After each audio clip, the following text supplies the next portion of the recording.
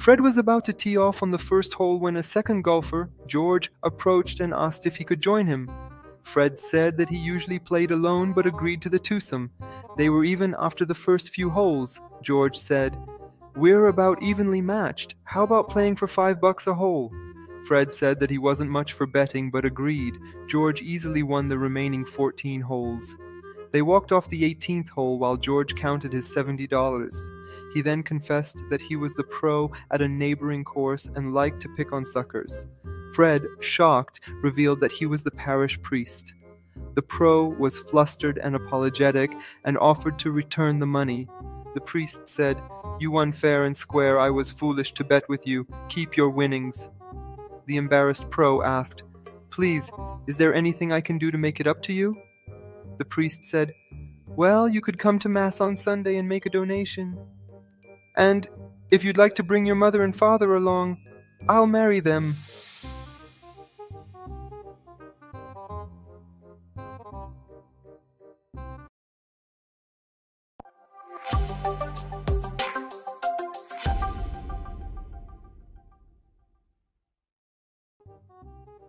A travel agent looked up from his desk and saw an older lady and an older gentleman peering into the shop window, where there were posters of glamorous destinations around the world.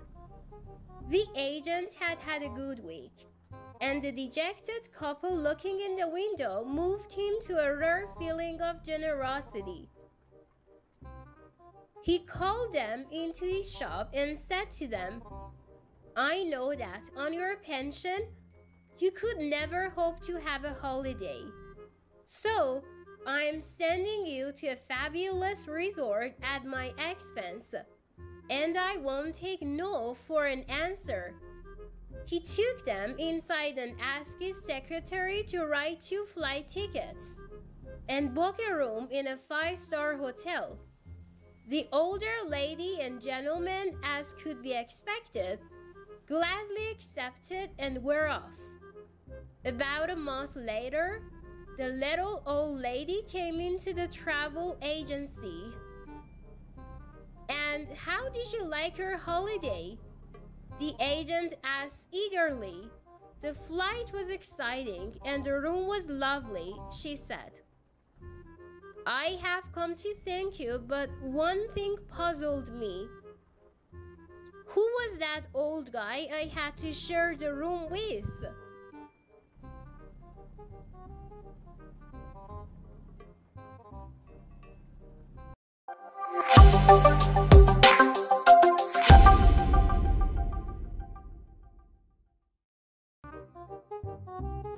Kids were arguing in the playground.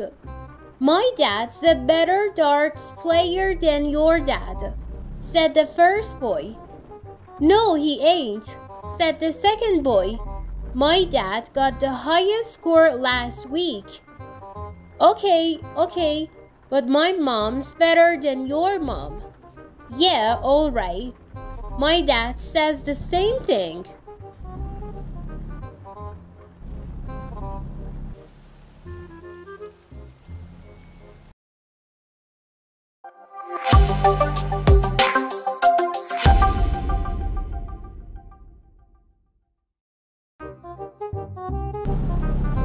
In an old part of town, there is an establishment often visited by a certain kind of people. In addition to numerous items on display, the purpose of which is unusual but well known to those who frequent the place. There are several small booths arranged in pairs, each pair sharing a common wall. There is a hole in this common wall about the size of one's fist. On one occasion, a young attractive woman enters the building. She looks around nervously, hoping that she won't be seen by anyone she knows, and slips into one of the booths. In the adjacent booth, on the other side of the wall, an old man is waiting, seated. The young woman closes the door to the booth and seems somewhat apprehensive. She whispers near the hole in the wall, separating the booths. I'm sorry, Daddy. I've been a very naughty girl. The old man on the other side, who has quite a bit of experience with such encounters, takes a deep breath and exhales with some emotion, anticipating a long and interesting encounter. He whispers back, You've definitely got the right idea, but it's forgive me, Father, for I have sinned.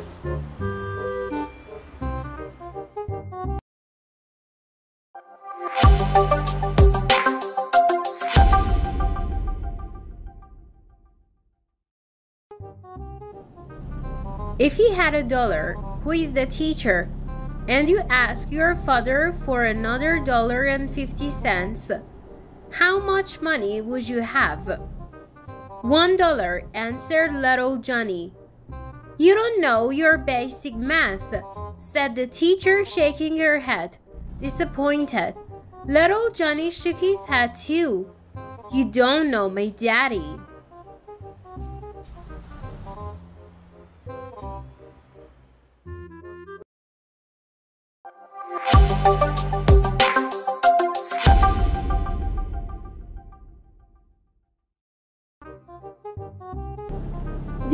World War II, a Nazi walks into a bar, looks around, and notices an older Orthodox Jewish man seated at a nearby table. Bartender, he says, a round on me for all your patrons, but not for the old Jewish geezer over there. As everyone in the bar receives their drinks, he looks directly at the Joe with a nasty smile. Surprisingly, the Joe nods his head and sends a warm smile back. The Nazi is somewhat miffed, as this was not the reaction he expected. So he goes back to the bar. Bartender, a second round for everyone but him, and this time take it all from the top shelf. He shouts. The Nazi again looks at the Jew and notices that he's still smiling back, and even warmer than before.